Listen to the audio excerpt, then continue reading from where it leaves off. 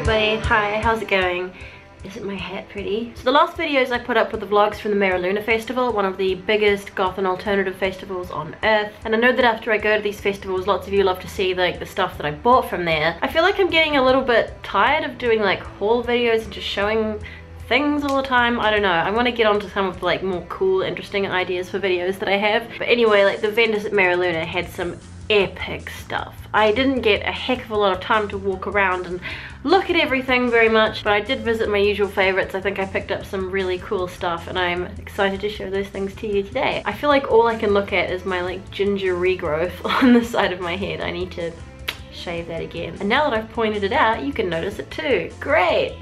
I think we'll start with the most obvious thing, which is this exquisite piece of art that I'm wearing on my head. If you saw the vlogs, you'll know that I got to model for one of my favorite designers, Vide Noir, an Italian designer. She makes exquisitely beautiful things. It was such an honor to be able to model for Vide Noir, so I've got a couple of things to show you from Vide Noir, just, oh, okay, anyway, we'll start with the hat though. It's, it's, this one's beautiful. I love this headpiece. I love her headpieces. They're beautiful. I like the shape of this one, this sort of slightly star-shaped one. And I also like how this one doesn't do up underneath. Like it doesn't have a band to tie it up at the back of your head. It just sort of clings to the side of your head. Beautiful beadwork. It's, oh God.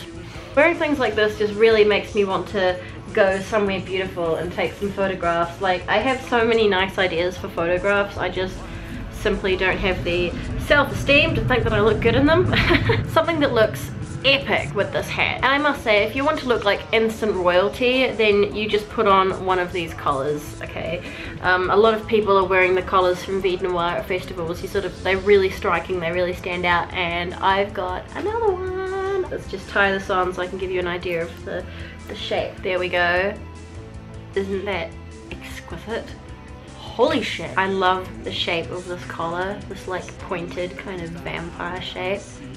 This plus this and a nice dress, I feel like an instant queen. Look at the little sparkly lacy details. Oh, yeah, I want to go somewhere beautiful and take some beautiful photos wearing these things. Oh, I can't get over I will, I will of course link to her Etsy shop below. She does sell her stuff on Etsy and can make custom things too. A couple more things to show you. I'm going to save the thing that I think is the coolest for last. This is also a necklace.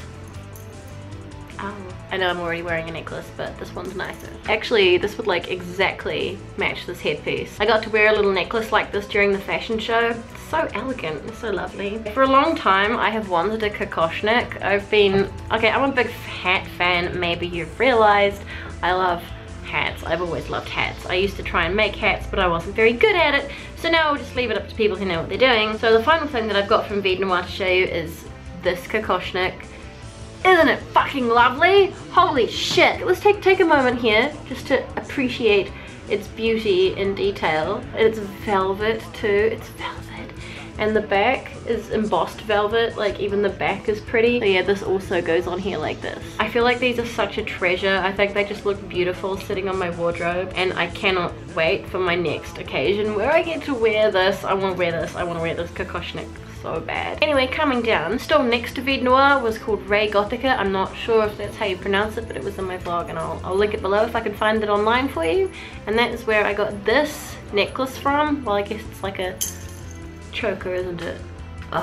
Big, heavy, sparkly beaded chain choker with bats hanging off it so elegant. That's really beautiful. I feel like I've just got so many beautiful things that I got to take home from M'era Luna this time. I wish I'd had more time to go around the shops, but I was, you know, chatting to people the entire time. Um, also jewelry. I'm afraid I don't know who the vendor was, but um, again, in my vlog, you saw them because I, I was excited when I found them. I got this ring. It's a little mini fake cat skull. It's so cool. I really, really liked that. From the same person, this little pair of earrings with little bird skulls. I guess they're like miniature raven skulls or something. I just thought they were sweet and cute and quite realistic. I feel like I'm gonna wear these earrings a lot. I need more holes in my ears to accommodate all my pretty earrings. also in the realm of small but lovely things, I visited Parfum Noir. This is like such a goth perfume brand, it really is. I'm a big fan of Parfum Noir. I have like a little collection going on. Let me, let me, I can see it from here. I have like seven bottles of Parfum Noir. I think uh, mostly big ones. This is one of the small bottles. Uh, Matthias also has a couple. I don't know why I hadn't discovered this one before. It's called Incubus Succubus and it's patchouli with sandalwood. It's so lovely. I was really tossing up between this one and one that was patchouli with Weihrauch, which is, I guess, like, I don't actually know what the Weihrauch is in English. I guess it's like, you know, that incense that you get in churches. Oh, it's so just, it's so dark and lovely. Really nice. So I just got a little bottle. Parfum Noir does have its own website, but I think like it's, you can also get it like Wonderland 13. I'm pretty sure they sell it there. Um, and I'm pretty sure Wonderland 13 ships internationally, forgive me if I'm wrong, but I'm pretty sure they do. And I mentioned Wonderland 13 because I got something from there too. I've already worn these out into the city so they don't look brand new anymore, but this is a pair of shoes by Killstar that I got from Wonderland 13. I'd seen these on the internet, like I'm just desperately in love with all the new Killstar shoes. I already have a couple of Killstar shoes already and I wear them heaps and they're incredibly good and they're really comfortable.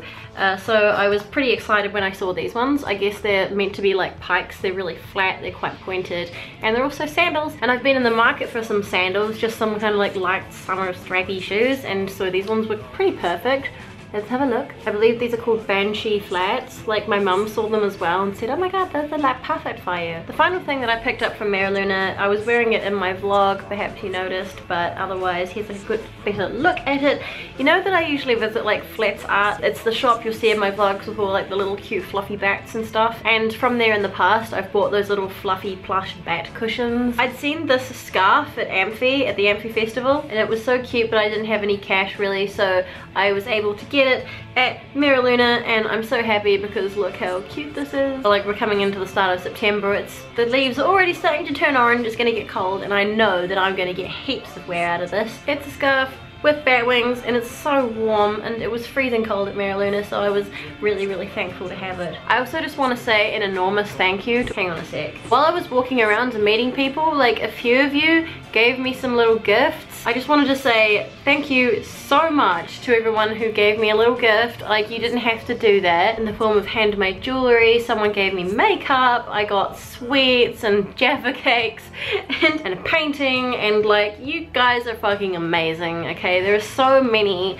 talented people out there amongst you I see you there, I know. And getting little like heartfelt handmade gifts is just oh, so nice and heartwarming and makes me feel really special. So like thank you so much to you if you're one of those people. And just everybody that I met there at M'era Luna, fuck i met so many of you i met so many cool amazing interesting people it was such a crazy big weekend and I hope to see you all there again next year. I hope to see as many of you as possible uh, next year at M'era Luna and we just have to all pray to the entire pantheon of weather gods that it won't rain next year because that sucked. Do tell me what you think was the coolest thing that I picked up from M'era Luna because I really couldn't say which thing was my favorite. Maybe the kokoshnik, maybe just this hat, maybe the, I, don't, I don't, I don't know. I think I did pretty well.